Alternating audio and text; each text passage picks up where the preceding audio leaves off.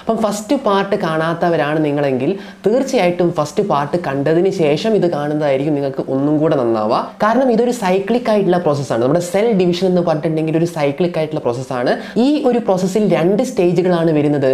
Interface അതുപോലെ തന്നെ mitosis face ഇന്റർഫേസിനെ കുറിച്ചാണ് നമ്മൾ കഴിഞ്ഞ ക്ലാസ്സിൽ ഡിസ്കസ് ചെയ്തിട്ടുണ്ടായിരുന്നത്. ഇന്ന് നമ്മൾ ഡിസ്കസ് ചെയ്യാൻ പോകുന്നത് മൈറ്റോസിസ് ഫേസിനെ കുറിച്ചാണ്. Mitosis phase or M phase അപ്പം മൈറ്റോസിസ് ഫേസിനെയാണ് നമ്മൾ എം ഫേസ് കൊണ്ട് റെപ്രസെന്റ് ചെയ്യുന്നത്. അപ്പം ഈ മൈറ്റോസിസ് ഫേസിൽ ടോട്ടൽ രണ്ട് സ്റ്റേജുകളാണുള്ളത് ഏതൊക്കെയാണത്?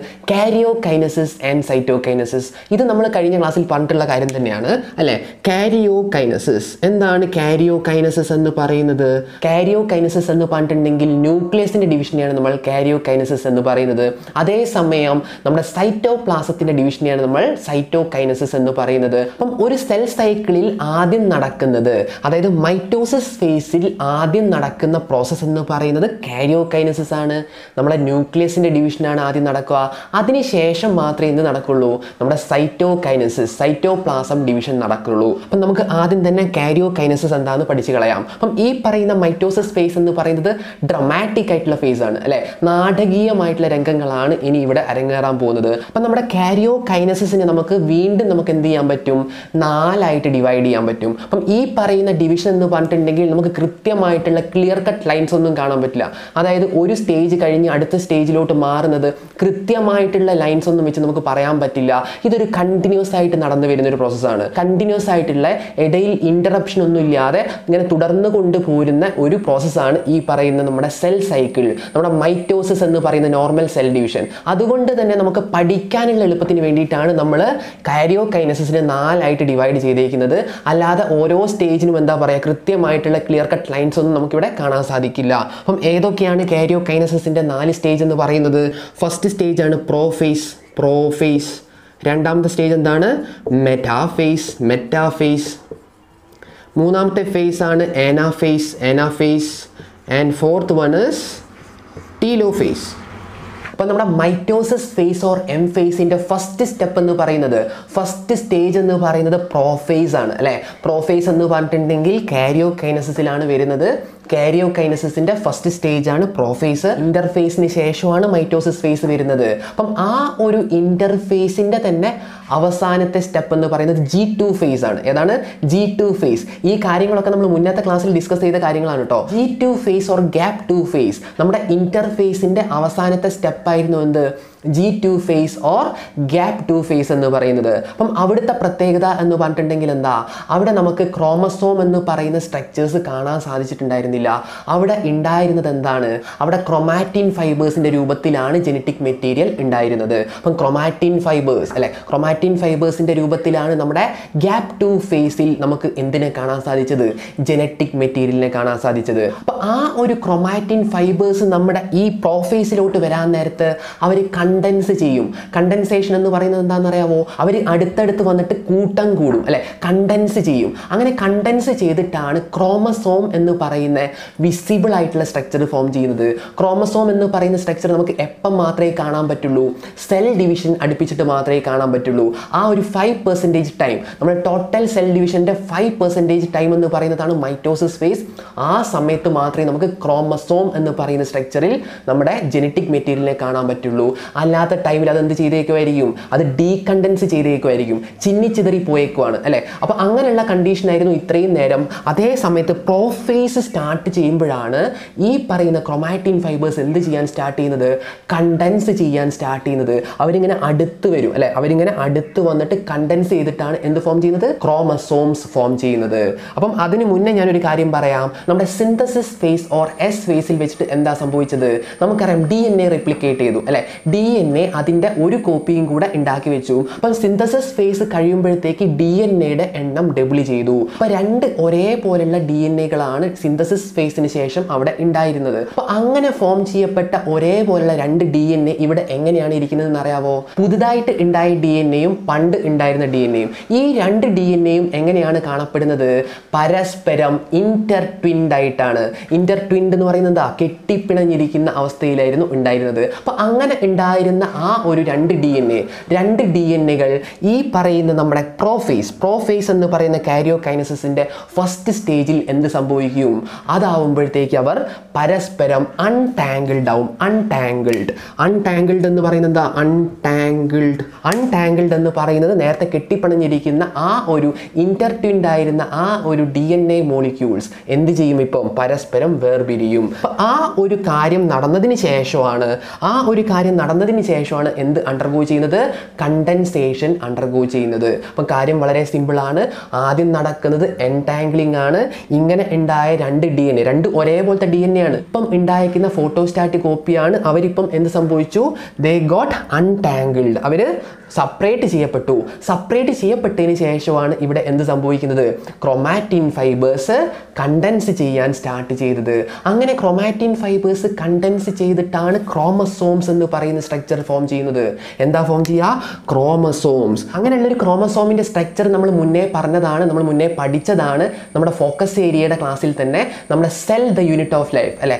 Cell the unit of life എന്ന് പറയുന്ന ചാപ്റ്ററിന്റെ ഏറ്റവും അവസാനത്തെ വീഡിയോ നിങ്ങൾ കണ്ടിട്ടുണ്ടെങ്കിൽ ഈ ക്രോമസോമിന്റെ സ്ട്രക്ചർ എങ്ങനെയാണ് എന്നുള്ള കാര്യങ്ങളൊക്കെ നമ്മൾ അവിടെ പറഞ്ഞിട്ടുണ്ട്. അപ്പോൾ ക്രോമസോമിന്റെ സ്ട്രക്ചർ എങ്ങനെയാണ്? നമുക്കറിയാം രണ്ട് ക്രോമാറ്റിഡുകൾ അല്ലെ രണ്ട് ക്രോമാറ്റിഡുകൾ നമുക്ക് ഇവിടെ കാണാൻ പറ്റും. ഒരു ക്രോമസോമിൽ കാണാൻ സാധിക്കും. അല്ലെ രണ്ട് ക്രോമസോം എപ്പോഴും ഉണ്ടാവണമെന്നില്ല കാരണം നമുക്കറിയാം ഈ പറയുന്ന മൈറ്റോസിസ് ഫേസിന്റെ അവസാനം നമുക്ക് കിട്ടുന്ന ആ ഒരു ക്രോമസോം എന്ന് പറഞ്ഞിട്ടുണ്ടെങ്കിൽ അവിടെ ഒറ്റ ക്രോമാറ്റിഡ് മാത്രമേ കാണാൻ പറ്റുള്ളൂ. അപ്പം ഇവിടെ ഉണ്ടാവുന്ന ഈ രണ്ട് ക്രൊമാറ്റിഡിന്റെ പ്രത്യേകത എന്ന് പറയുന്നത് എന്താണെന്നറിയാവോ? ഇതിന്റെ അതേ കോപ്പി തന്നെയാണിത്. ഇതിലുള്ള അതേ ഇൻഫർമേഷൻ തന്നെയാണ് രണ്ടാമത്തെ ക്രൊമാറ്റിഡിലും ഉണ്ടാവുന്നത്. അപ്പം കാര്യം സിമ്പിൾ ആണ്. ഈ ക്രൊമാറ്റിഡിൽ ഉള്ള അതേ ഇൻഫർമേഷൻ തന്നെയായിരിക്കും നമ്മുടെ രണ്ടാമത്തെ ക്രൊമാറ്റിഡിലും ഉണ്ടാവുന്നത്. അതുകൊണ്ട് തന്നെയാണ് നമ്മൾ ഇവരെ എന്ത് വിളിക്കുന്നത്? സിസ്റ്റർ ക്രൊമാറ്റിഡ് എന്ന് വിളിക്കുന്നത്. എന്താ വിളിക്കുക? ദേ ആർ സിസ്റ്റർ ക്രൊമാറ്റിഡ് അല്ലെ? രണ്ടും സിസ്റ്റേഴ്സ് ആണ്. സിസ്റ്റർ ക്രൊമാറ്റിഡ് ആണ്. അപ്പം ഈ രണ്ട് ക്രൊമാറ്റിഡിനെയും ജോയിൻ ചെയ്യുന്ന ഈ സ്ട്രക്ചറിനെ നമ്മൾ എന്താ വിളിക്കുക സെൻട്രോമിയർ ആ പേര് മറക്കാൻ പാടില്ല. കാരണം ഇനി നമ്മൾ സെൻട്രിയോളും സെൻട്രോസും വരാൻ നേരത്ത് സെൻട്രോമിയർ എന്താണെന്നുള്ള കാര്യം ചിലപ്പം കൺഫ്യൂഷൻ വരാൻ ചാൻസ് ഉണ്ട്. സെൻട്രോമിയർ എന്ന് പറയുന്നത് രണ്ട് ആ രണ്ട് ക്രൊമാറ്റിഡുകളെയും പരസ്പരം ജോയിൻ ചെയ്യുന്ന നടുവിലുള്ള ആ സ്ട്രക്ചറിനെയാണ് നമ്മൾ സെൻട്രോമിയർ എന്ന് പറയുന്നത് സെൻട്രോമിയർ അപ്പോൾ ഈ സെൻട്രോമിയറിന്റെ അപ്പുറവും ഇപ്പുറവും നമുക്ക് ഡിസ്ക് ഷേപ്ഡ് ആയിട്ടുള്ള കൈനറ്റോ കോറ് കാണാൻ സാധിക്കും. ഇതും നമുക്ക് ഇവിടെ ഇമ്പോർട്ടൻസ് വരുന്നുണ്ട് നമ്മുടെ മെറ്റാഫേസിൽ വെച്ചിട്ട്. അപ്പം പ്രോഫേസിന്റെ പ്രത്യേകത എന്ന് പറഞ്ഞിട്ടുണ്ടെങ്കിൽ എന്തൊക്കെയാണ്? നമുക്ക് നോക്കാം.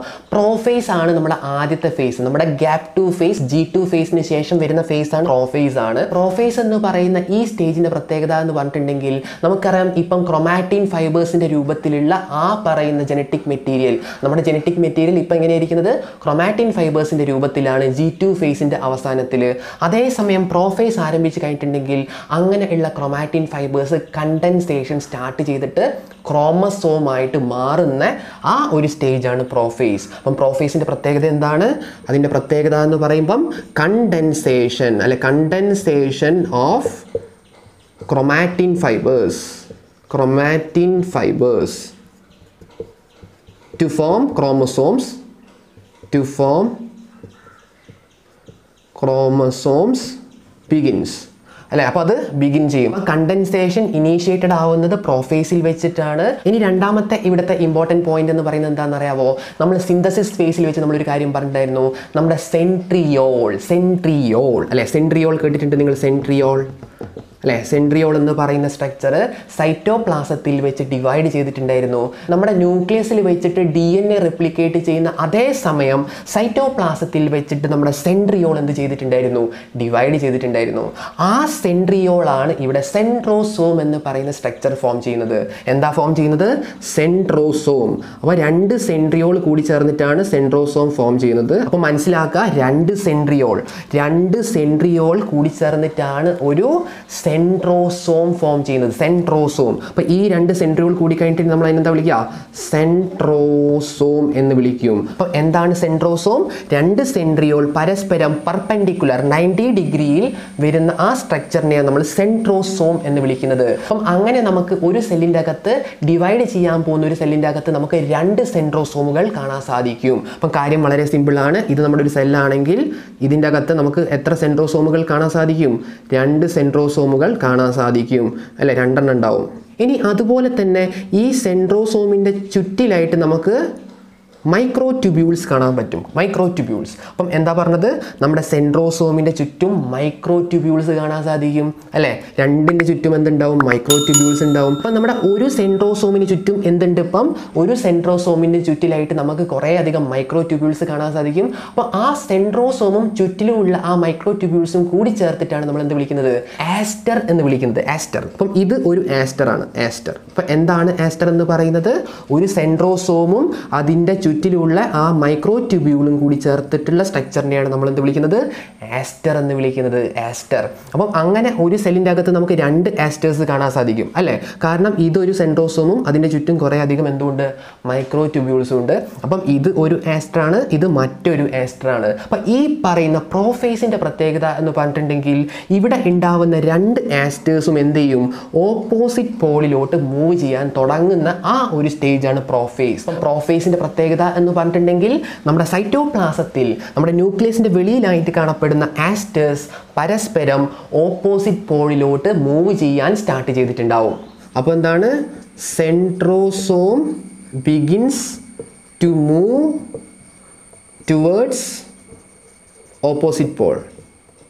അപ്പോൾ നമ്മുടെ സെൻട്രോസോം എന്ത് ചെയ്തുകൊണ്ടിരിക്കുകയാണ്? ഓപ്പോസിറ്റ് പോളിലോട്ട് മൂവ് ചെയ്യാൻ തുടങ്ങുന്ന ആ സ്റ്റേജ് പ്രോഫേസ് ആണ്. അപ്പം പ്രോഫേസിന് കുറേ അധികം കാര്യങ്ങൾ നമ്മൾ പറഞ്ഞു. ഇനി ഞാൻ പറയാൻ വിട്ട കാര്യം എന്ന് പറയുന്നത് എന്താണ് മൈറ്റോട്ടിക് അപ്പാരറ്റസ് മൈറ്റോട്ടിക് അപ്പാരറ്റസ് എന്ന് പറയുന്നത് ആസ്റ്ററിന്റെ ചുറ്റും അല്ലെങ്കിൽ ആസ്റ്ററിൽ നിന്ന് പുറത്തോട്ട് പുറപ്പെടുവിപ്പിക്കുന്ന മറ്റൊരു സാധനമാണ് സ്പിൻഡിൽ ഫൈബേഴ്സ് സ്പിൻഡിൽ ഫൈബേഴ്സ് എന്ന് പറയുന്ന കുറേ ഫൈബേഴ്സ് ആര് പ്രൊഡ്യൂസ് ചെയ്യും? ഈ ആസ്റ്റേഴ്സ് പ്രൊഡ്യൂസ് ചെയ്യും. അപ്പം നമുക്കറിയാം ഒരു സെല്ലിന്റെ അകത്ത് നമുക്ക് രണ്ട് ആസ്റ്റേഴ്സ് കാണാൻ സാധിക്കും. ആ രണ്ട് ആസ്റ്റേഴ്സും അതിനോടൊപ്പമുള്ള സ്പിൻഡിൽ ഫൈബറും കൂടി ചേർന്നിട്ടുള്ള ആ അപ്പാരറ്റസിനെയാണ് നമ്മൾ മൈറ്റോട്ടിക് അപ്പാരറ്റസ് എന്ന് പറയുന്നത്. മൈറ്റോട്ടിക് അപ്പാരറ്റസ് അപ്പോൾ രണ്ട് ആസ്റ്ററും അതിന്റെ ചുറ്റുമുള്ള സ്പിൻഡിൽ ഫൈബേഴ്സും ചേർന്നിട്ടുള്ള ആ സ്ട്രക്ചറിനെയാണ് മൈറ്റോട്ടിക് അപ്പാരറ്റസ് എന്ന് പറയുന്നത്. ഇനി പ്രോഫേസിന്റെ ഏറ്റവും അവസാനത്തെ സ്റ്റെപ്പ് ഏറ്റവും അവസാനം പ്രോഫേസിൽ നടക്കുന്ന കാര്യമെന്ന് പറഞ്ഞിട്ടുണ്ടെങ്കിൽ ഡിസപ്പിയർ ആയി പോവാണ് കുറച്ച് ആൾക്കാർ ആരൊക്കെയാണ്? ഡിസിന്റഗ്രേഷൻ നമ്മുടെ ന്യൂക്ലിയർ മെമ്പറിൻ എന്ത് ചെയ്യും? മെല്ലെ മെല്ലെ മെല്ലെ മെല്ലെ അത് അപ്രത്യക്ഷമാവാൻ തുടങ്ങും. അത് ഡിസിന്റഗ്രേറ്റ് ചെയ്യാൻ തുടങ്ങും. അപ്പം ആരൊക്കെയാണ് ഇവിടെ ഡിസിന്റഗ്രേറ്റ് ചെയ്യുന്നത്? നമ്മുടെ ന്യൂക്ലിയർ മെമ്പറിൻ മാത്രമാണോ? അല്ല ന്യൂക്ലിയർ മെമ്പറിൻ മാത്രമല്ല ഡിസപ്പിയർ ചെയ്യാൻ തുടങ്ങുന്നത്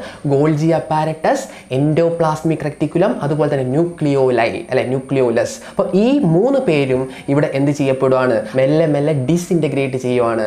ആ ഒരു സ്റ്റേജ് നമ്മുടെ പ്രോഫേസ് അല്ലെ ഈ ഒരു സ്റ്റേജ് കഴിയുമ്പോഴത്തേക്ക് പ്രോഫേസ് കഴിഞ്ഞു എന്ന് നമുക്ക് പറയാം. അതായത് ന്യൂക്ലിയസ് പൂർണമായിട്ട് ഡിസപ്പിയർ ചെയ്ത് കഴിഞ്ഞിട്ടുണ്ടെങ്കിൽ അതോടെ നമ്മുടെ പ്രോഫേസ് എന്ന് പറയുന്ന ഈ സ്റ്റേജ് അവസാനിച്ചു. അപ്പോൾ പ്രോഫേസിന്റെ ഏറ്റവും അവസാനത്തെ പോയിന്റ് നമുക്ക് എഴുതാൻ പറ്റുന്നത് എന്താണ്?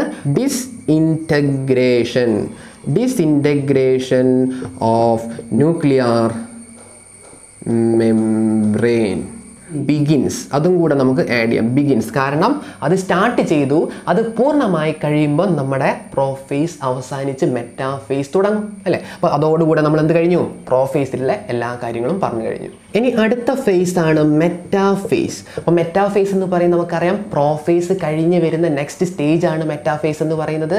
ഈ സ്റ്റേജിന്റെ പ്രത്യേകത അല്ലെങ്കിൽ ഈ സ്റ്റേജ് സ്റ്റാർട്ട് ചെയ്യുന്നത് എപ്പോഴാണ്?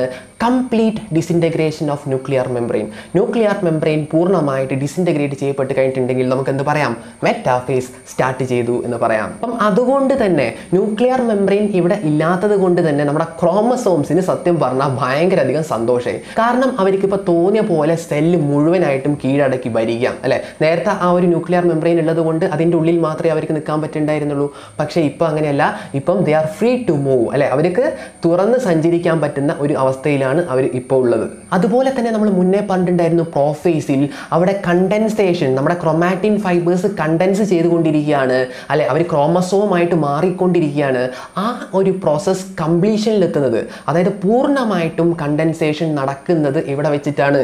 നമ്മുടെ മെറ്റാഫേസിൽ വെച്ചിട്ടാണ്. മെറ്റാഫേസിന്റെ പ്രത്യേകത എന്ന് പറഞ്ഞിട്ടുണ്ടെങ്കിൽ നമുക്ക് ക്ലിയർ കട്ടായിട്ട് നമുക്ക് ആരെ കാണാൻ സാധിക്കും? നമ്മുടെ ക്രോമസോംസിനെ കാണാൻ സാധിക്കും. കാരണം അവരിപ്പം എന്ത് പൂർത്തീകരിച്ചിട്ടുണ്ട്? അവരുടെ കണ്ടൻസേഷൻ അല്ലെ? അവരടുത്ത് വന്ന് നല്ല രീതിയിൽ കട്ടിയോടെ തന്നെ നല്ല ക്ലിയർ ആയിട്ട് നമുക്ക് എന്ത് കാണാൻ സാധിക്കും? അവിടെ ക്രോമസോമുകളെ കാണാൻ സാധിക്കും. അതുപോലെ തന്നെ ഇവിടെ യാത്ര പുറപ്പെട്ട ഒരു ടീം ഉണ്ടായിരുന്നു. നമ്മുടെ സെൻട്രോസോം അല്ലെ? ഓപ്പോസിറ്റ് പോളിലോട്ട് സഞ്ചരിക്കാൻ തുടങ്ങിയിട്ടുണ്ടായിരുന്നു. അത് ഈ ഒരു സ്റ്റേജിൽ കംപ്ലീറ്റ് ചെയ്തിട്ടുണ്ടാവും. അപ്പോൾ നമ്മളൊരു സെല്ല് നോക്കി കഴിഞ്ഞിട്ടുണ്ടെങ്കിൽ ഉണ്ടെങ്കിൽ അവിടെ നമുക്ക് നമുക്ക് എന്ത് കാണാൻ പറ്റില്ല? ന്യൂക്ലിയർ മെമ്പറേയും കാണാൻ പറ്റില്ല.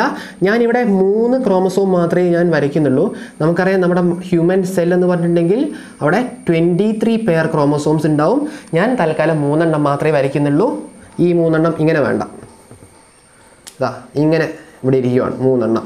ഓക്കെ ഇനി അതുമാത്രമല്ല ഓപ്പോസിറ്റ് പോളുകളിൽ നമ്മുടെ ആശാന്മാർ എത്തിയിട്ടുണ്ട് നമ്മുടെ സെൻട്രോസോം അല്ലേ? സെൻട്രോസോം എത്തിയിട്ടുണ്ട്. അപ്പോൾ ഈ സെൻട്രോസോമിന് ചുറ്റും നമുക്ക് എന്ത് കാണാൻ സാധിക്കും? നമ്മുടെ മൈക്രോ ട്യൂബ്യൂൾസ് ഒക്കെ വന്നിട്ടുണ്ടാവും. അല്ല മൈക്രോ ട്യൂബ്യൂൾസ് ഒക്കെ വന്നിട്ടുണ്ടാവും. അപ്പോൾ നമുക്ക് ഇതിനെ എന്ത് വിളിക്കാൻ പറ്റും? ഇപ്പം ആസ്റ്റർ എന്ന് വിളിക്കാൻ പറ്റും. രണ്ട് ആസ്റ്റർ മുകളിലും താഴത്തുമായിട്ട് ഇരിപ്പുണ്ട്. ഇനി ഇവിടെ നിന്ന് നമുക്കറിയാം വരുന്നത് ആരാണ്? സ്പിൻഡിൽ ഫൈബേഴ്സ് ആണ്. സ്പിൻഡിൽ ഫൈബേഴ്സ് അപ്പം സ്പിൻഡിൽ ഫൈബേഴ്സ് എന്ത് ചെയ്യും? ഇതേപോലെ ഇവിടെ നിന്ന് എറൈസ് ചെയ്തിട്ട് ഈ പറയുന്ന ക്രോമസോമിലോട്ട് പോയിട്ട് അത് ഒട്ടിപ്പിടിക്കും. ക്രോമസോമിന്റെ ഏത് പാർട്ടിലോട്ടാണ് അത് അറ്റാച്ച്ഡ് ആവുന്നത്? അത് നമ്മൾ ശ്രദ്ധിക്കണം. ക്രോമസോമിന്റെ കൈനറ്റോകോർ എന്ന് പറയുന്ന സ്ട്രക്ചർ ഡിസ്ക് ഷേപ്ഡ് ഉള്ള സ്ട്രക്ചർ അല്ലെ? ഡിസ്ക് പോലെ ഇരിക്കുന്ന കൈനറ്റോകോർ എവിടെയാണ് കാണപ്പെടുന്നത്? നമ്മുടെ സെൻട്രോമിയറിന്റെ അപ്പുറവും ഇപ്പുറവും അല്ലെ? സെൻട്രോമിയറിന്റെ ഈ സൈഡിൽ ഒരു ഡിസ്ക് ഷേപ്ഡ് സ്ട്രക്ചർ ഉണ്ടാവും. അതുപോലെ തന്നെ ഇപ്പുറത്തെ ഭാഗത്തും എന്ത് കാണാം? ഒരു ഡിസ്ക് ഷേപ്ഡ് ആയിട്ടുള്ള കൈനറ്റോകോർ കൈനറ്റോകോർ. കൈനറ്റോകോർ അപ്പം ഇവിടെ ഒരു കൈനറ്റോകോർ ഓപ്പോസിറ്റ് സൈഡിൽ ഒരു കൈനറ്റോകോർ ഇനി ഇവിടെ ശ്രദ്ധിക്കേണ്ട കാര്യം എന്ന് പറയുന്നത് ഒരു ഭാഗത്തുള്ള കൈനറ്റോകോറിലോട്ട് അറ്റാച്ച് ചെയ്യപ്പെടുന്നത് ഒരു പോളിൽ നിന്നുള്ള നമ്മുടെ സ്പിൻഡിൽ ഫൈബേഴ്സ് ആയിരിക്കും. അപ്പം വളരെ സിമ്പിളാണ് ഈ ഭാഗത്തുള്ള ആസ്റ്ററിൽ നിന്നും വരുന്ന നമ്മുടെ mitotic spindle spindle fibres attach ചെയ്യപ്പെടുന്നത് ഒരു ഭാഗത്ത് അതായത് നമ്മുടെ ക്രോമസോമിന്റെ ഒരു ഭാഗത്തുള്ള കൈനറ്റോകോറിലോട്ടും രണ്ടാമത്തെ ഈ കൈനറ്റോകോറിലോട്ട് അറ്റാച്ച്ഡ് ആവുന്ന മൈറ്റോട്ടിക് സ്പിൻഡിൽ ഓപ്പോസിറ്റ് പോളിൽ നിന്നുള്ള സ്പിൻഡിൽ ഫൈബർ ആയിരിക്കും. ആ രീതിയിലാണ് ഇവിടുത്തെ ഒരു അറ്റാച്ച്മെന്റ് നിങ്ങളത് കൃത്യമായിട്ട് മനസ്സിലാക്കി വെക്കണം. അപ്പം മൈറ്റോസിസ് എന്ന് പറയുന്ന ഈ പ്രോസസ്സിൽ മൈറ്റോസിസ് എന്ന് പറയുന്ന ഈ പ്രോസസ്സിൽ നമുക്ക് എന്ത് കാണാൻ സാധിക്കും? സ്പിൻഡിൽ ഫൈബേഴ്സ് വരുന്നതായിട്ട് കാണാൻ സാധിക്കും. എങ്ങനെയാണ് സ്പിൻഡിൽ ഫൈബേഴ്സ് അറ്റാച്ച് ചെയ്യപ്പെടുന്നത്? അതായത് ഒരു ക്രോമസോമിന്റെ ഒരു സൈഡിലുള്ള കൈനറ്റോക്കോറിലോട്ട് വരുന്ന മൈറ്റോട്ടിക് ഫൈബർ എന്ന് പറയുന്നത് ഒരു പോളിൽ നിന്നുള്ള ആസ്റ്ററിൽ നിന്നായിരിക്കും. അതുപോലെ തന്നെ മറ്റേ ഭാഗത്തുള്ള കൈനറ്റോക്കോറിലോട്ട് വരുന്ന മൈറ്റോട്ടിക് ഫൈബർ വരുന്നത് ഓപ്പോസിറ്റ് പോളിലുള്ള ആസ്റ്ററിൽ നിന്നായിരിക്കും. ഇതാണ് ഇവിടുത്തെ ഒരു റൂൾ നമ്മുടെ മൈറ്റോസിസിൽ നമ്മൾ കാണപ്പെടുന്ന ഒരു പാറ്റേൺ ഇങ്ങനെയാണ്. അപ്പം നിങ്ങൾ ചിത്രത്തിലോട്ട് നോക്കിക്കഴിഞ്ഞാൽ നിങ്ങൾക്ക് കാണാൻ സാധിക്കും. നമ്മുടെ ഈ ക്രോമസോം നമ്മൾ ആകെ മൂന്ന് ക്രോമസോം മാത്രമേ വരച്ചിട്ടുള്ളൂ. അപ്പം ഈ മൂന്ന് ക്രോമസോമിന്റെയും അപ്പുറവും ഇപ്പുറവും അല്ലെ അപ്പുറവും ഇപ്പുറവും കാണപ്പെടുന്ന കൈനറ്റോ കോറിൽ യഥാക്രമം മുകളിലത്തെയും താഴത്തെയും ആസ്റ്ററിൽ നിന്നുള്ള മൈറ്റോട്ടിക് ഫൈബേഴ്സ് വെച്ച് കണക്റ്റഡ് ആണ്. ഇനി ഇവിടെ എന്താ സംഭവിക്കുന്നത്? ഇനി സംഭവിക്കുന്നത് ഇനി നമ്മുടെ ഈ ക്രോമസോമിനെ ഇവന്മാർ എന്ത് ചെയ്യും? ഇവന്മാർ നമ്മുടെ സെല്ലിന്റെ നടുവിൽ കൊണ്ട് അറേഞ്ച് ചെയ്യും അലൈൻ ചെയ്യും അല്ലേ? കൃത്യമായിട്ട് വരി വരിയായിട്ട് സെല്ലിന്റെ നടുവിൽ കൊണ്ടുവന്ന് അറേഞ്ച് ചെയ്യുന്ന രീതിയിലോട്ട് ഇവന്മാർ എന്ത് ചെയ്യും? ഇതിനെ കൺവേർട്ട് ചെയ്യും. നമുക്ക് നോക്കാം എന്താ ഉണ്ടാവുക എന്നുള്ളത് അപ്പം ഇവിടെ എന്താ സംഭവിച്ചത്? നമ്മുടെ സെല്ലിന്റെ കറക്റ്റ് നടുവിൽ കറക്റ്റ് സെന്ററിൽ ഈ പറയുന്ന ക്രോമസോമുകൾ വരി വരിയായിട്ട് അലൈൻ ചെയ്യപ്പെട്ടേക്കുവാണ്. അപ്പം ഈ ഒരു സെന്റർ പോർഷനെ നമ്മൾ എന്താ വിളിക്കുക? സ്പിൻഡിൽ ഇക്വേറ്റർ എന്നാ വിളിക്കുക. സ്പിൻഡിൽ ഇക്വേറ്റർ സ്പിൻഡിൽ ഇക്വേറ്റർ അപ്പം സ്പിൻഡിൽ ഇക്വേറ്റർ എന്ന് പറയുന്നത് നമ്മുടെ ഈ സെല്ലിന്റെ ഒത്ത സെന്ററിലുള്ള ആ ഒരു പ്ലെയിനെയാണ് നമ്മൾ സ്പിൻഡിൽ ഇക്വേറ്റർ എന്ന് പറയുന്നത്. ഈ സ്പിൻഡിൽ ഇക്വേറ്ററിലോട്ട് നമ്മുടെ ഈ ക്രോമസോമിനെ പിടിച്ച് സെറ്റ് ചെയ്ത് കറക്റ്റായിട്ട് അലൈൻ ചെയ്ത് വെച്ചേക്കുന്ന ഒരു അവസ്ഥയിലാണ് നമ്മുടെ മെറ്റാഫേസ് അവസാനിക്കുന്നത്. അപ്പോൾ നിങ്ങൾ ഇങ്ങനെ വൺസ് സെല്ലിനെ കണ്ടു കഴിഞ്ഞിട്ടുണ്ടെങ്കിൽ അതിന്റെ മീനിങ് എന്താണ്? അത് മെറ്റാഫേസ് എന്ന് പറയുന്ന സ്റ്റേജ് കംപ്ലീറ്റ് ചെയ്തു എന്നുള്ളതാണ് അതിന്റെ മീനിങ് അപ്പോൾ മെറ്റാഫേസ് എന്ന് പറയുന്ന സ്റ്റേജ് അവസാനിക്കുന്നത് ഈ പറയുന്ന സ്പിൻഡിൽ ഇക്വേറ്ററിൽ നമ്മുടെ ക്രോമസോം അലൈൻ ചെയ്യപ്പെടുമ്പോഴാണ്. അപ്പോൾ ആ ഒരു ഫിനോമിനെ ആ ഒരു കാര്യത്തിനെയാണ് നമ്മൾ എന്ത് പറയുന്നത്? Metaphase plate. മെറ്റാഫേസ് പ്ലേറ്റ് എന്ന് പറയും. Metaphase plate. അപ്പോൾ ഈ മെറ്റാഫേസ് പ്ലേറ്റ് എന്ന് പറയുന്നത് എന്താണ് ആക്ച്വലി മെറ്റാഫേസ് പ്ലേറ്റ് എന്ന് പറയുന്നത് ഇതേപോലെയുള്ള ഈ അറേഞ്ച്മെന്റിനെയാണ് നമ്മൾ എന്ത് പറയുന്നത്? മെറ്റാഫേസ് പ്ലേറ്റ് എന്ന് പറയുന്നത്. അത് നമ്മുടെ മെറ്റാഫേസിന്റെ ഒരു ഡെഫിനിറ്റ് ഫീച്ചറാണ് അപ്പം മെറ്റാഫേസിൽ നമ്മൾ കണ്ട ഫീച്ചേഴ്സ് എന്തെല്ലാമാണ്? Spindle fibres spindle fibres attached to spindle fibres attached to kinetochores kinetochores of chromosomes അപ്പോൾ എന്താ സംഭവിച്ചത്? സ്പിൻഡിൽ ഫൈബേഴ്സ് നമ്മുടെ ക്രോമസോമിന്റെ കൈനറ്റോകോറിലോട്ട് അറ്റാച്ച് ചെയ്യപ്പെട്ട സ്റ്റേജ് മെറ്റാഫേസ് ആണ്. രണ്ടാമത്തെ കാര്യം എന്താണ്? നമ്മുടെ metaphasic plate metaphase plate metaphase plate എന്ന് പറയുന്ന ആ ഒരു ഫീച്ചർ നമുക്ക് കാണാൻ സാധിച്ചത് മെറ്റാഫേസിൽ വെച്ചിട്ടാണ്. അതെന്താണ്?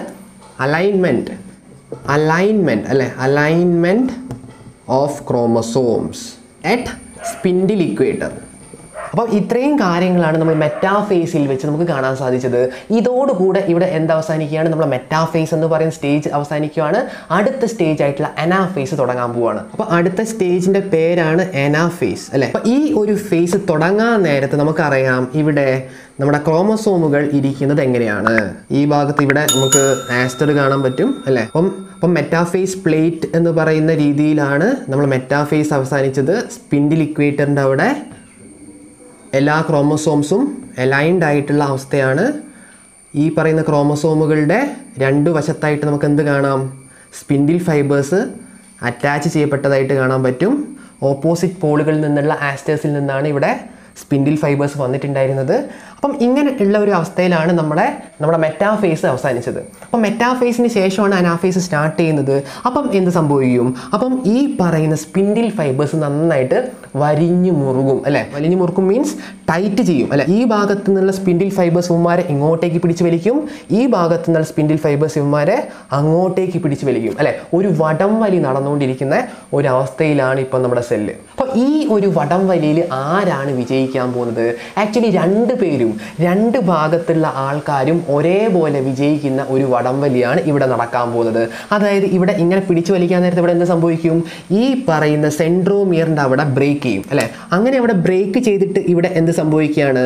നമ്മുടെ ക്രൊമാറ്റിഡ് രണ്ടും സെപ്പറേറ്റഡ് ആവാണ് രണ്ട് ക്രൊമാറ്റിഡും സെപ്പറേറ്റഡ് ആവാണ് അങ്ങനെ രണ്ട് ക്രൊമാറ്റിഡും സെപ്പറേറ്റഡ് ആയി കഴിഞ്ഞിട്ടുണ്ടെങ്കിൽ ഇവിടെ ഇവർ പിടിച്ച് വലിച്ചുകൊണ്ടിരിക്കുകയല്ലേ? രണ്ട് ഭാഗത്തുള്ള സ്പിൻഡിൽ ഫൈബേഴ്സ് ചേർന്ന് അങ്ങോട്ട് ഇങ്ങോട്ട് പിടിച്ച് വലിക്കാൻ നേരത്ത് സ്വാഭാവികമായിട്ടും ഈ ക്രൊമാറ്റിഡ് പരസ്പരം ബ്രേക്ക് ചെയ്യും. അവരുടെ ഇടയിൽ ആ ഒരു ബോണ്ട് എന്ത് ചെയ്യും? ബ്രേക്ക് ചെയ്യും. അങ്ങനെ ബ്രേക്ക് ചെയ്തതിന് ശേഷം രണ്ടുപേരും പിടിച്ച് വലിക്കുമ്പം സ്വാഭാവികമായിട്ടും രണ്ടും ഓപ്പോസിറ്റ് പോളിലോട്ട് മൂവ് ചെയ്യാനുള്ള ഒരു പരിപാടി സ്റ്റാർട്ട് ചെയ്തിട്ടുണ്ടാവും. അപ്പോൾ രണ്ട് പേരും ഇങ്ങനെ മുകളിലോട്ടും താഴോട്ടും മൂവ് ചെയ്യാൻ വേണ്ടി പോവാണ്. കാരണം രണ്ടുപേരും പരസ്പരം ഇപ്പം എന്ത് ചെയ്തു?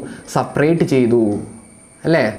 അപ്പോൾ അങ്ങനെ പോകാൻ നേരത്ത് നമുക്ക് കാണാൻ പറ്റുന്ന കാര്യം എന്താണ്? ഞാൻ ഈ മൂന്നെണ്ണം വരച്ചേക്കുന്നത് ഇങ്ങനെയാണ് അല്ലേ? ചിങ് ചിങ് ഇങ്ങനെയാണ് വരച്ചേക്കുന്നത്. നേരത്തെ ഇവന്മാരുണ്ടായിരുന്നത് എങ്ങനെയായിരുന്നു? ഇങ്ങനെയായിരുന്നു അല്ലേ? ഇപ്പം അപ്പുറത്തുനിന്നും ഇപ്പുറത്തുനിന്നും പിടിച്ചു വലിക്കാൻ നേരത്ത് ഇവന്മാർ ഈ ഒരു ഷേപ്പിലായിരിക്കും ഉണ്ടാവുന്നത്. അതായത് ഇവന്മാരുടെ സെൻട്രോമിയർ അല്ലേ? ഇവന്മാരുടെ സെൻട്രോമിയർ ഇപ്പം എങ്ങനെയാണ്?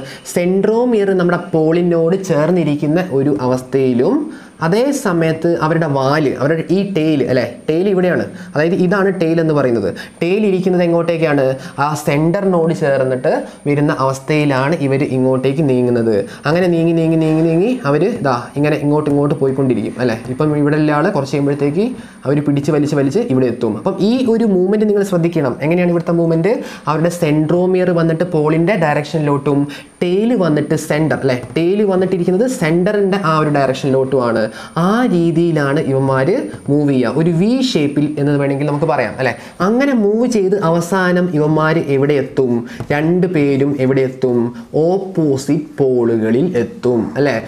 രണ്ട് പേരും ഓപ്പോസിറ്റ് പോളുകളിൽ എത്തും ഇങ്ങനെ എത്തും അല്ലേ? അങ്ങനെ ഓപ്പോസിറ്റ് പോളിൽ എത്തിയേക്കുന്ന ഇവന്മാർക്ക് പിന്നീട് എന്ത് സംഭവിക്കും? ഇതിനെക്കുറിച്ച് നമ്മൾ പഠിക്കുന്നത് അടുത്ത സ്റ്റെപ്പിലാണ്. അടുത്ത സ്റ്റെപ്പായിട്ടുള്ള നമ്മുടെ കാരിയോ കൈനസിന്റെ ഏറ്റവും അവസാനത്തെ സ്റ്റെപ്പായിട്ടുള്ള ടീലോ ഫേസിൽ വെച്ചിട്ടാണ് നമ്മൾ ഡിസ്കസ് ചെയ്യുക. അപ്പം ഈ ക്രൊമാന്റിഡുകൾ അവരുടെ ഓപ്പോസിറ്റ് പോളിൽ എത്തുന്നത് വരെയാണ് നമ്മൾ ആനാഫേസ് പഠിക്കുന്നത്. അപ്പം ആനാഫേസ് വളരെ എളുപ്പമായിട്ടുള്ള ഫേസ് ആണ്. ഇവിടെ രണ്ട് കാര്യങ്ങൾ മാത്രമേ നടക്കുന്നുള്ളൂ. Centromere centromere split S P L I T S splits and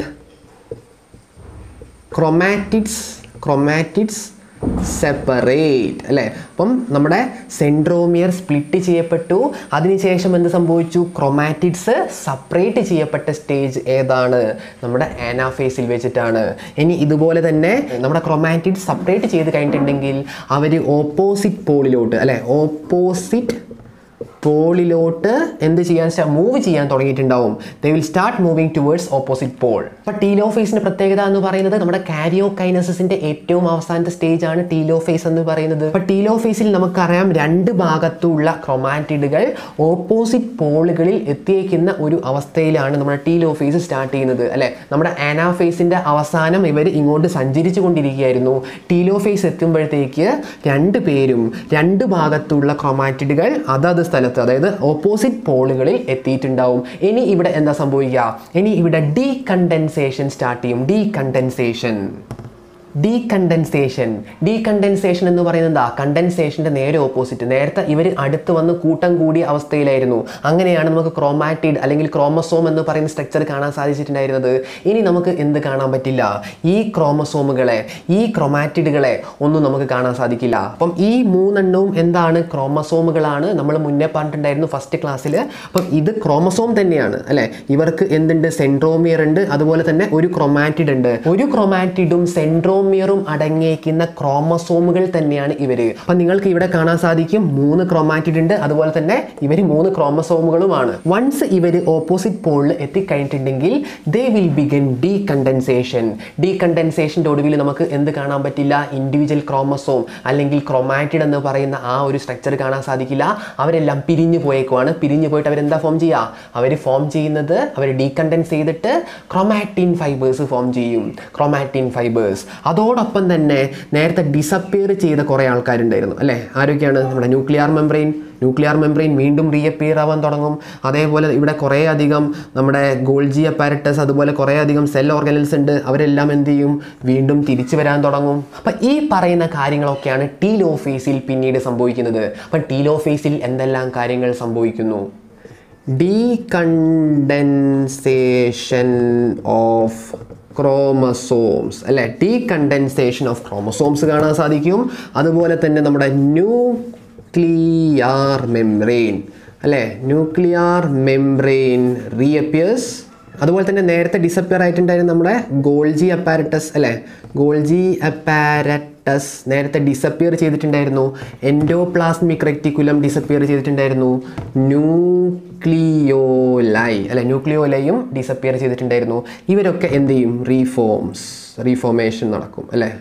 reforms അപ്പം ഈ മൂന്ന് കാര്യങ്ങളാണ് ടീലോഫേസിൽ വെച്ച് നടക്കുന്നത്. ഇതോടുകൂടെ നമ്മളെ ടീലോഫേസ് അവസാനിക്കും. അതോടുകൂടെ തന്നെ നമ്മുടെ കാരിയോ കൈനസിസ് എന്ന് പറയുന്ന സ്റ്റേജും തീരും. കാരിയോ കൈനസിസ് കഴിഞ്ഞാൽ അടുത്ത സ്റ്റേജ് ആണ് സൈറ്റോ കൈനസിസ് എന്താണ് സൈറ്റോ കൈനസിസ് നമുക്കറിയാം സൈറ്റോപ്ലാസം ഡിവിഷനാണ്. നേരത്തെ എങ്ങനെയായിരുന്നു നമ്മുടെ സെൽ ഉണ്ടായിരുന്നത്? നമ്മുടെ ടീലോ ഫേസിന്റെ അവസാനം ന്യൂക്ലിയർ മെമ്പറീനൊക്കെ വന്ന് ജനറ്റിക് മെറ്റീരിയലിന്റെ ഇൻഡിവിജ്വാലിറ്റി ഒക്കെ നഷ്ടപ്പെട്ട് അവർ എന്ത് ഫോമാറ്റിലോട്ട് വന്നിട്ടുണ്ടാവും? ക്രൊമാറ്റിൻ ഫൈബേഴ്സിന്റെ ഫോമാറ്റിലോട്ട് വന്നിട്ടുണ്ടാവും. അതേപോലെ തന്നെ നമ്മുടെ ഗോൾജി അപ്പാരറ്റസ് എൻഡോപ്ലാസ്മിക് റെറ്റിക്കുലം ഇതൊക്കെ ഫോം ചെയ്തിട്ടുണ്ടാവും. ആ ഒരു കണ്ടീഷനിലാണ് നമ്മുടെ സെല്ല് ഇപ്പോൾ ഇരിക്കുന്നത്. ഇവിടുത്തെ ഒരു പ്രശ്നം എന്ന് പറയുന്നത് എന്താണ്? സെല്ല് ഇതുവരെയായിട്ടും സെപ്പറേറ്റ് ചെയ്യപ്പെട്ടിട്ടില്ല. ന്യൂക്ലിയസ് സെപ്പറേറ്റ് ചെയ്തു അല്ലേ? ന്യൂക്ലിയസ് സെപ്പറേറ്റ് ചെയ്തു പക്ഷേ സെല്ല് ഇതുവരെയായിട്ട് രണ്ടായിട്ട് മാറിയിട്ടില്ല. അതായത് സൈറ്റോപ്ലാസത്തിന്റെ ഡിവിഷൻ നടന്നിട്ടില്ല. സൈറ്റോപ്ലാസം എന്ന് പറയുന്നത് ഫ്ലൂയിഡ് പോർഷൻ ഓഫ് ദ സെല്ലാണ് സൈറ്റോപ്ലാസം അപ്പം ആ ഒരു പ്രോസസ്സാണ് ഇനി പെൻഡിങ് ആയിട്ടുള്ളത്. ഈ സൈറ്റോകൈനസിസ് എന്ന് പറയുന്ന സ്റ്റെപ്പ് പ്ലാന്റ് സെല്ലിലും അതുപോലെ തന്നെ അനിമൽ സെല്ലിലും രണ്ട് വ്യത്യസ്ത രീതിയിലാണ് നടക്കുന്നത്. ആദ്യം തന്നെ നമുക്ക് അനിമൽ സെല്ലിൽ ഏത് രീതിയിലാണ് ഇത് നടക്കുന്നത് എന്നുള്ളത് നോക്കാം. അപ്പം ആനിമൽ സെല്ലിന്റെ കേസിൽ ഈ രണ്ട് അറ്റങ്ങളിൽ നിന്നുമാണ് എന്ത് ആദ്യം വരുന്നത്? ഒരു കുഴി അല്ലെ ഒരു ഫറോ ആദ്യമായിട്ട് അപ്പിയർ ചെയ്യും. ആ ഫറോ പിന്നീട് ഡീപ്പൻ ചെയ്തിട്ട് രണ്ട് സെല്ല് സെപ്പറേറ്റ് ആയിട്ട് മാറും. അപ്പൊ ചുരുക്കത്തിൽ പറഞ്ഞിട്ടുണ്ടെങ്കിൽ ഈ അറ്റത്ത് നിന്നാണ് എന്ത് സംഭവിക്കുന്നത്? സെല്ല് ഡിവൈഡ് ചെയ്യാൻ സ്റ്റാർട്ട് ചെയ്യുന്നത്. എവിടെ? നമ്മുടെ ആനിമൽ സെല്ലിൽ ഒരു ചെറിയ ഒരു കുഴി പോലത്തെ സ്ട്രക്ചർ ഡെവലപ്പ് ചെയ്യും. പിന്നീട് അത് ഡീപ്പൻ ചെയ്തിട്ട് രണ്ട് സെപ്പറേറ്റ് സെല്ലുകളായിട്ട് മാറുന്ന ഒരു കണ്ടീഷനാണ് നമുക്ക് ആനിമൽ സെല്ലിൽ കാണാൻ സാധിക്കുന്നത്. അതേസമയം പ്ലാൻ സെല്ലിൽ ഇതേപോലെയല്ല. കാരണം എന്താണ്? കാരണം അവരുടെ ബോഡിയുടെ ഔട്ടർ മോസ്റ്റ് ലെയർ എന്ന് പറയുന്നത് സെൽ വോളാണ് സെൽ മെംബ്രെയിന്റെ പുറകിലായിട്ട് നോൺ ലിവിങ് ആയിട്ടുള്ള നമ്മുടെ സെൽ വോൾ എന്ന് പറയുന്ന സെല്ലിലോസ് കൊണ്ട് ഉണ്ടാക്കിയിരിക്കുന്ന ഒരു സ്ട്രക്ചർ നമുക്ക് പ്ലാൻ സെല്ലിൽ കാണാൻ സാധിക്കും. അവരുടെ കേസിൽ എങ്ങനെയാണ് സൈറ്റോകൈനസിസ് നടക്കുന്നത് എന്നുള്ളത് നമുക്ക് നോക്കാം. ഇത് ഒരു ടിപ്പിക്കൽ പ്ലാൻ സെല്ലായിട്ട് നമുക്ക് കൺസിഡർ ചെയ്യാം. അപ്പം ഇവിടെ നമ്മുടെ കാരിയോ കൈനസിസ് പൂർണമായിട്ട് നടന്നിട്ടുണ്ട്. ഇനി നടക്കേണ്ടത് സൈറ്റോകൈനസിസ് ആണ് അല്ലെ? ഇനി നമുക്കറിയാം ഇവിടെയുള്ള സെൽ ഓർഗനൽസ് അല്ലെ? ഈ സെൽ ഓർഗനൽസ് ഈ രണ്ട് സെല്ലിലോട്ടും ഈക്വൽ ആയിട്ട് ഡിവൈഡ് ചെയ്യും. കോൾജി അപ്പാരറ്റസും നമ്മുടെ എൻഡോപ്ലാസ്മിക് റെറ്റിക്കലും ഒക്കെ കൃത്യമായിട്ട് രണ്ട് സെല്ലും വീതിച്ചെടുക്കും. അപ്പോൾ സൈറ്റോകൈനസിസ് എന്ന് പറയുമ്പോൾ പ്ലാന്റ് സെല്ലിന്റെ കേസിൽ അത് സ്റ്റാർട്ട് ചെയ്യുന്നത് സെല്ലിന്റെ സെന്ററിൽ നിന്നാണ്. സെല്ലിന്റെ സെന്ററിൽ സെൽ പ്ലേറ്റ് എന്ന് പറയുന്ന ഒരു സ്ട്രക്ചർ ഡെവലപ്പ് ചെയ്യും. സെൽ പ്ലേറ്റ് അപ്പോൾ ഈ സെൽ പ്ലേറ്റ് ആണ് നമ്മുടെ സെൽ വോളിന്റെ പ്രിക്കർസർ അല്ലെ? പ്രിക്കർസർ എന്ന് പറയുന്നത് എന്താണ്? സെൽ വോൾ ഫോം ചെയ്യുന്നതിനെ മുന്നേ ഫോം ചെയ്യുന്ന ആളാണ് നമ്മുടെ പ്രിക്കർസർ ഈ സെൽ പ്ലേറ്റ് രണ്ട് വശങ്ങളിലേക്കും വളർന്നിട്ട് എന്തായി മാറും? ഈ ഒരു രണ്ട് സെല്ലും സെപ്പറേറ്റ് ആയിട്ട് മാറും. അപ്പോൾ ഈ സെൽ പ്ലേറ്റ് ആണ് പിന്നെ മിഡിൽ ലാമെല്ലയായിട്ട് മാറുക മിഡിൽ ലാമെല്ലേനെ റീപ്ലേസ് ചെയ്തുകൊണ്ടാണ് നമ്മുടെ സെൽ വാൾ ഇവിടെ ഉണ്ടാവുന്നത്. സെൽ വാൾ ഫോം ചെയ്യപ്പെടുന്നത്. അങ്ങനെ സെൽ വാൾ ഫോം ചെയ്യപ്പെട്ട് കഴിഞ്ഞിട്ടുണ്ടെങ്കിൽ രണ്ടും സെപ്പറേറ്റ് സെല്ലായിട്ട് മാറും. അപ്പോൾ കാര്യം വളരെ സിമ്പിളാണ് സെൽ പ്ലേറ്റ് എന്ന് പറയുന്ന സ്ട്രക്ചർ നമ്മുടെ പ്ലാന്റ് സെല്ലിന്റെ കേസിൽ സെന്റർ ഓഫ് ദ സെല്ലിലാണ് ആദ്യം ഉണ്ടാവുന്നത്. അവിടെ നിന്ന് രണ്ട് വശങ്ങളിലേക്കും അത് വളരും. അതാണ് മിഡിൽ ലാമെല്ലയായിട്ട് ഫോം ചെയ്യുന്നത്.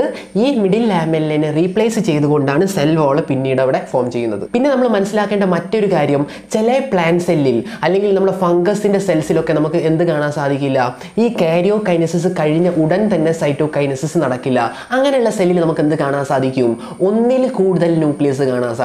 അല്ലേ? അപ്പം ഒന്നിൽ കൂടുതൽ ന്യൂക്ലിയസ് ഒരു സെല്ലിൽ കാണുന്ന അവസ്ഥയ്ക്കാണ് സിൻസീഷ്യം എന്ന് പറയുന്നത്. സിൻസീഷ്യം. സിൻസീഷ്യം. എന്താണ് സിൻസീഷം എന്ന് പറയുന്നത്? ഒരു സെല്ലിൽ ഒന്നിൽ കൂടുതൽ ന്യൂക്ലിയസ് കാണുന്ന അവസ്ഥ. അത് എന്തുകൊണ്ടാണ് സംഭവിക്കുന്നത്? നമ്മുടെ കാരിയോ കൈനസിന് ശേഷം സൈറ്റോ കൈനസിസ് അണ്ടർഗോ ചെയ്യാത്ത സെൽസ് അതിന്റെ ഉദാഹരണമാണ് നമ്മുടെ ഫംഗസിന്റെ സെൽസ് അതുപോലെ തന്നെ കോക്കനട്ട് എൻഡോസ്പേം. അല്ലെ? കോക്കനട്ട് എൻഡോസ്പേം എന്തിന്റെ എക്സാമ്പിൾ ആണ്? ഈ പറയുന്ന സിൻസീഷത്തിന്റെ എക്സാമ്പിൾ ആണ്. ഈ പറയുന്ന കോക്കനട്ടിന്റെ എൻഡോസ്പേം ലിക്വിഡ് ഫോമിലാണ് നമ്മുടെ തേങ്ങാ വെള്ളം ആക്ച്വലി എന്താണ്? ഇറ്റ് ഈസ് ദ എൻഡോസ്പേം അത് ആക്ച്വലി സിൻസീഷു ആണ്. കുറേ അധികം സെൽസ് ഉണ്ടാവും. ആ സെൽസ് ഒക്കെ എങ്ങനെയാണ് ഒന്നിൽ കൂടുതൽ ന്യൂക്ലിയസ് അതിൽ നമുക്ക് കാണാം. മിക്ക സെൽസിന്റെയും കേസിൽ എങ്ങനെയാണ് നമ്മുടെ കാരിയോ കൈനസസ് കഴിഞ്ഞ പാട് തന്നെ എന്തുണ്ടാവും? നമ്മുടെ സൈറ്റോ കൈനസസ് എന്ന് പറയുന്ന സൈറ്റോ സൈറ്റോപ്ലാസം ഡിവിഷൻ നടക്കുന്ന ആ ഒരു പ്രോസസ്സ് ഉണ്ടാവും. ഇന്നത്തെ ക്ലാസ് എല്ലാവർക്കും ഇഷ്ടപ്പെട്ടെന്ന് ഞാൻ വിശ്വസിക്കുന്നു. എന്തെങ്കിലും ഡൗട്ട് നിങ്ങൾക്കുണ്ടെങ്കിൽ തീർച്ചയായിട്ടും കമന്റ് ചെയ്യുക. അടുത്ത ക്ലാസ് നമുക്ക് വേണ്ടി കാണാം. ബൈ